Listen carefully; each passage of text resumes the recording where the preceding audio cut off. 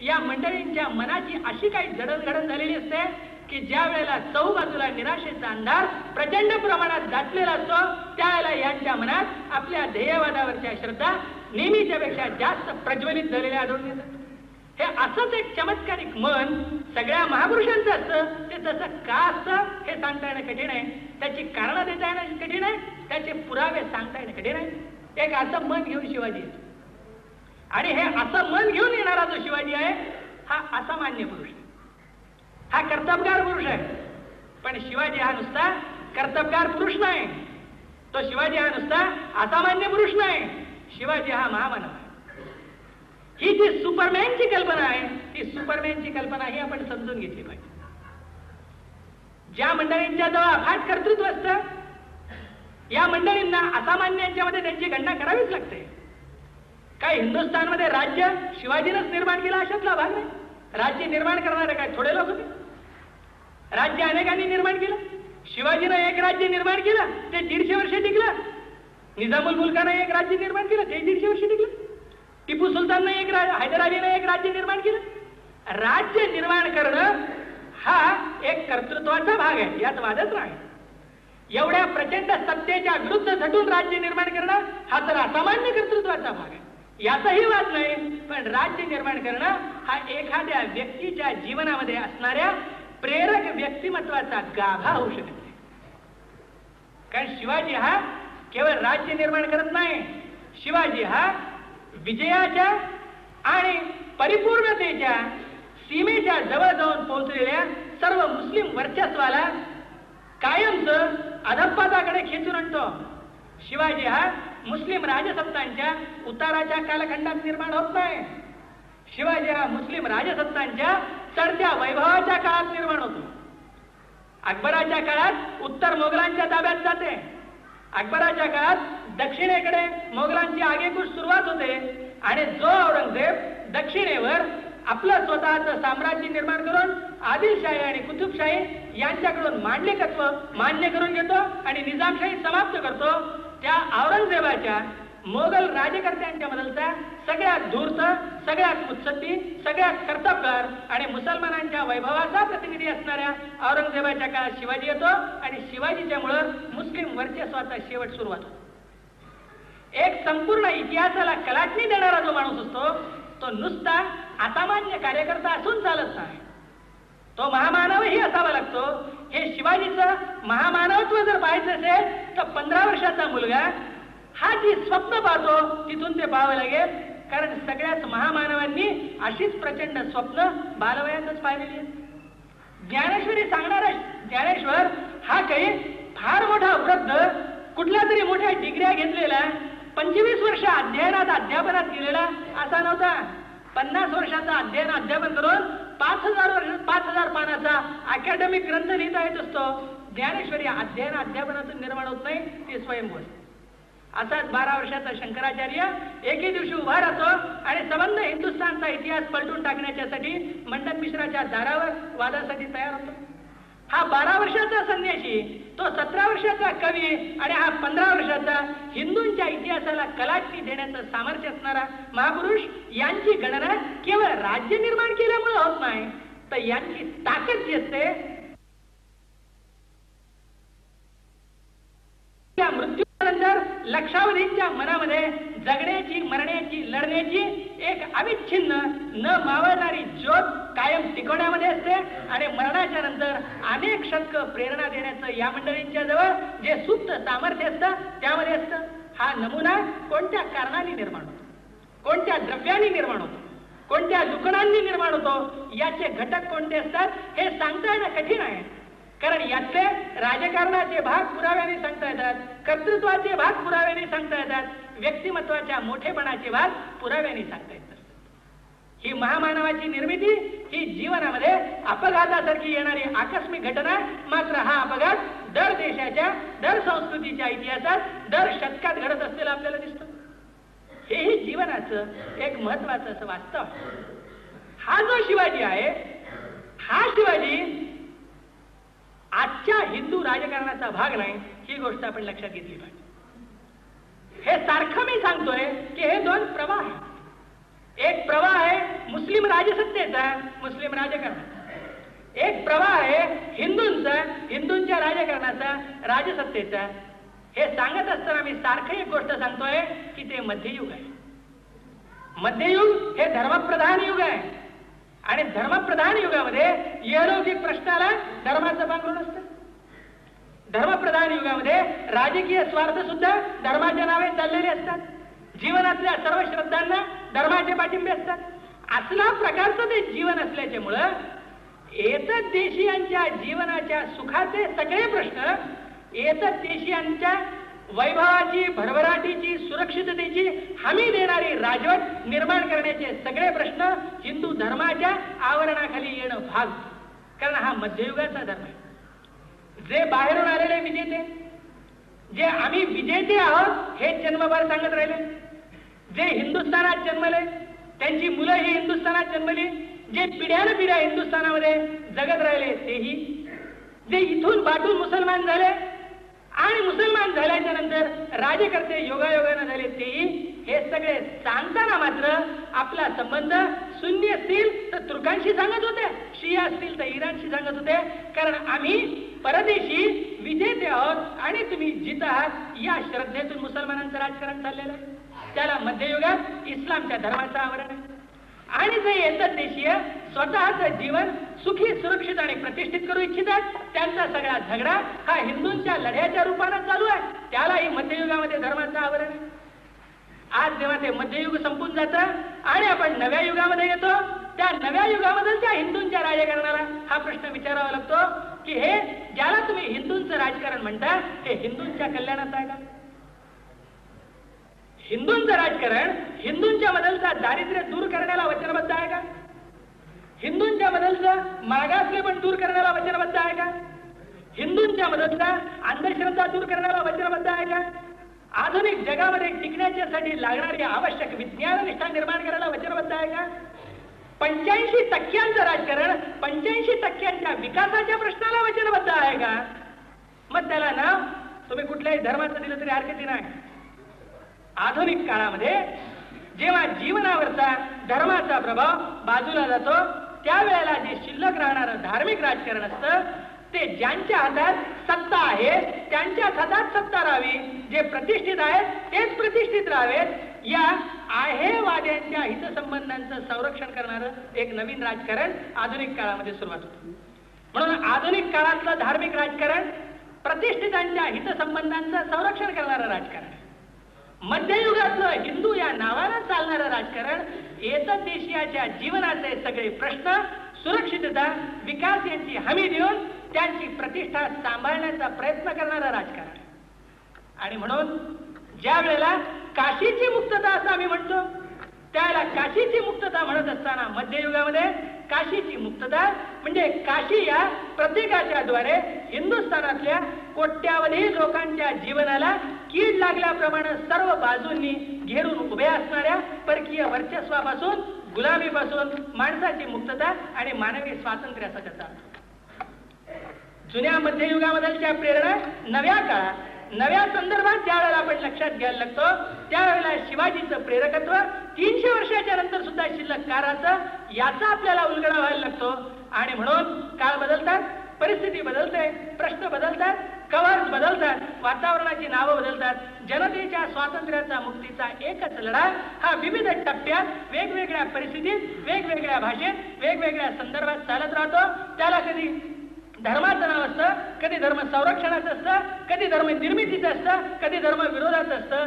लढा जनतेच्या मुक्तीच्या आंदोलनाचा आहे की नाही हा खरा महत्त्वाचा प्रश्न असतो.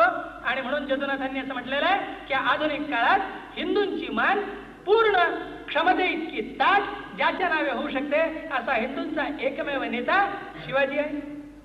हा जो शिवाजी आहे त्याचं प्रेरकत्व जर या भारतीयांच्या आर्थिक सामाजिक मानसिक गुलामीतून मुक्तता करण्याच्या माणसाच्या मुक्ततेच्या स्वातंत्र्याच्या लढ्याला प्रेरक होत असेल वागवलं जात असेल तर माणूस इतिहासातला आहे ही गोष्ट गौण होऊन जाते. त्याचं प्रेरकत्व आजच्या जीवनाला पवित्र आणि उज्ज्वल करून एका नव्या दिशेनं न्यायला उपयोगी पडतं ही गोष्ट महत्वाची होती.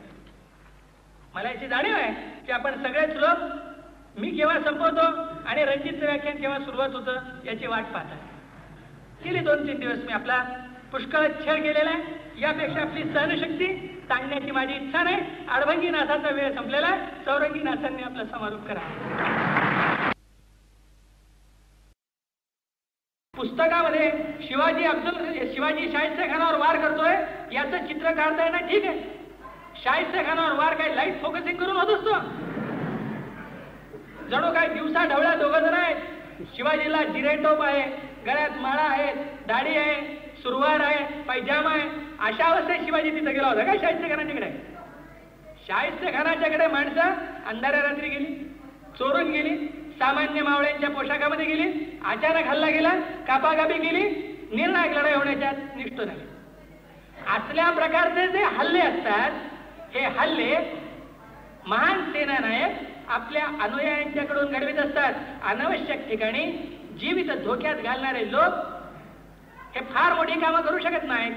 कारण मोठी कार्य करणाऱ्या मंडळींना जसा वैयक्तिक सुखाला वाव नसतो वैयक्तिक दुःखाला वाव नसतो तसा साहसीपणालाही वाव नसतो. हुतात्मा व्हायलाही ते मोकळे नसतात.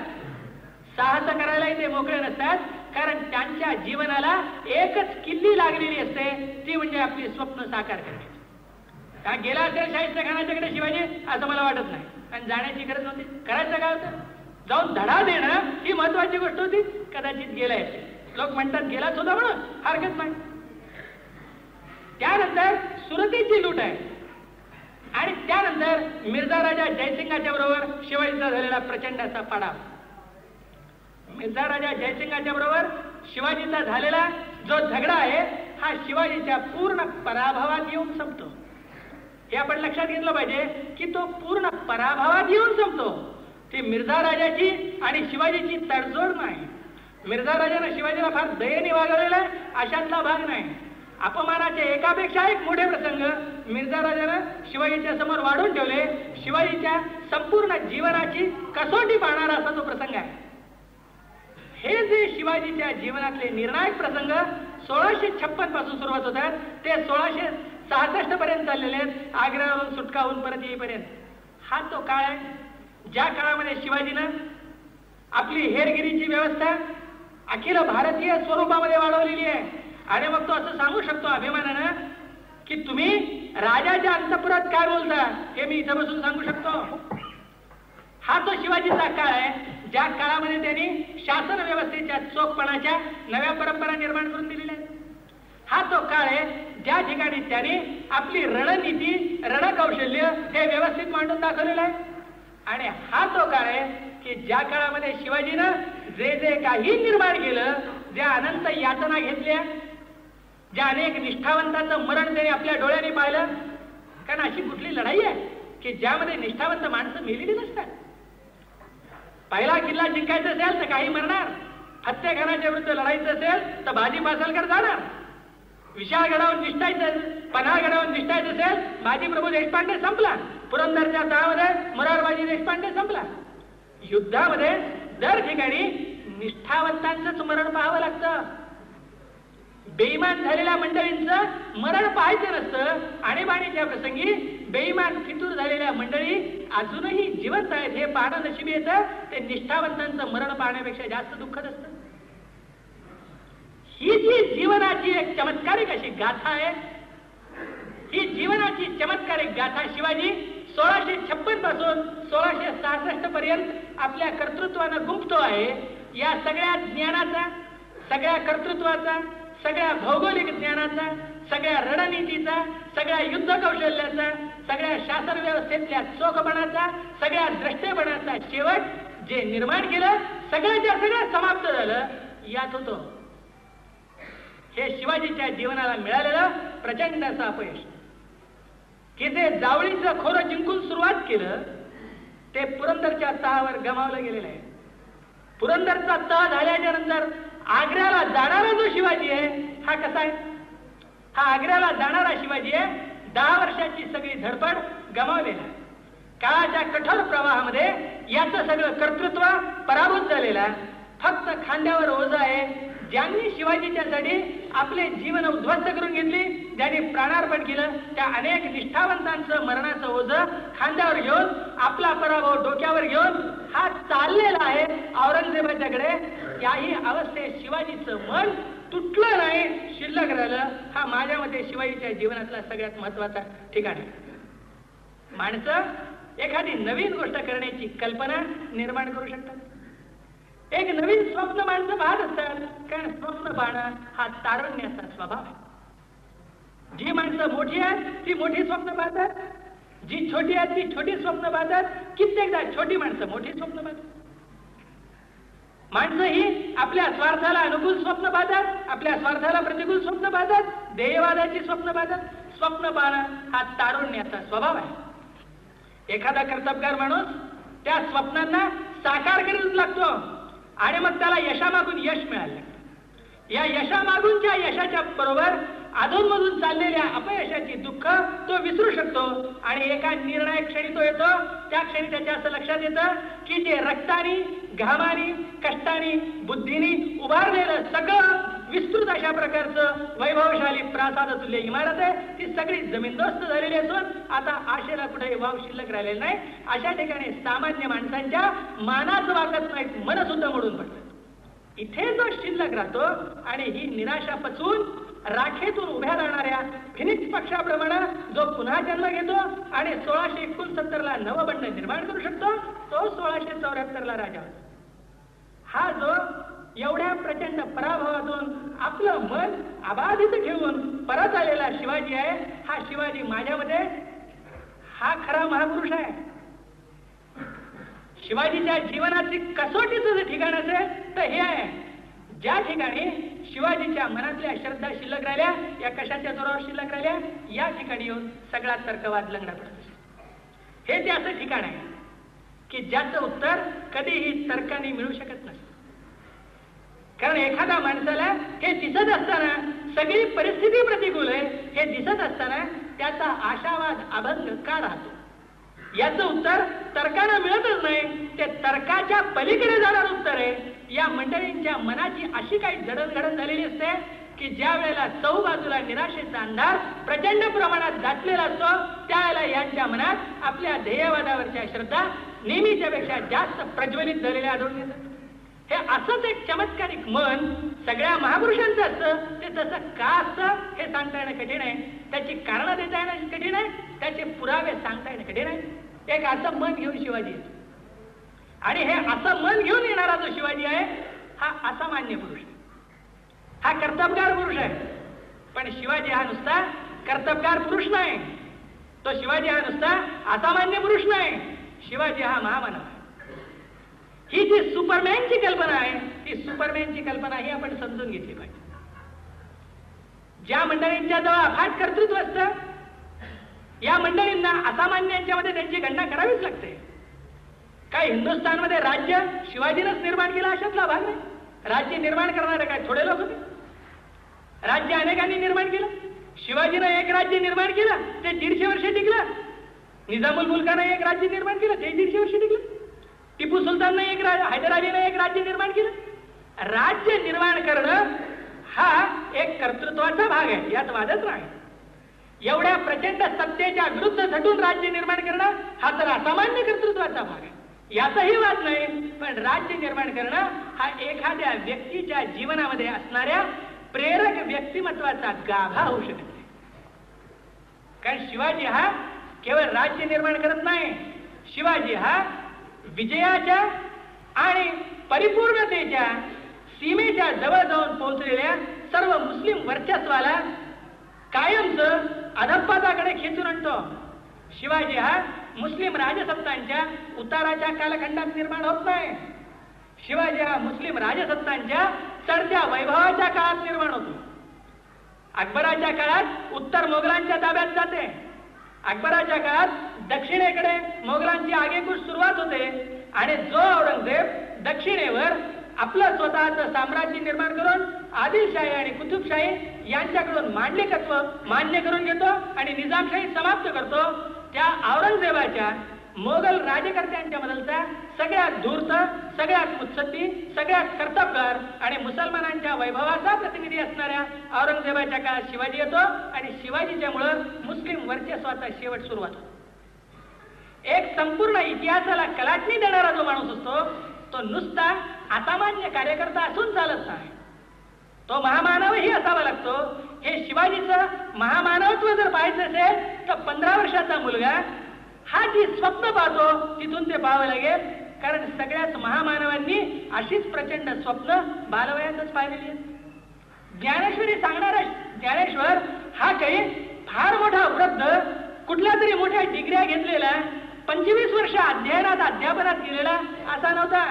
पन्नास वर्षाचा अध्ययन अध्यापन करून पाच हजार वर्ष पाच हजार अकॅडमिक ग्रंथ लिहिता येत असतो. ज्ञानेश्वरी अध्ययन अध्यापनातून निर्माण होत नाही ते स्वयंभू असाच बारा वर्षाचा शंकराचार्य एके दिवशी उभा राहतो आणि संबंध हिंदुस्थानचा इतिहास पलटून टाकण्याच्यासाठी मंडप मिश्राच्या दारावर वादासाठी तयार होतो.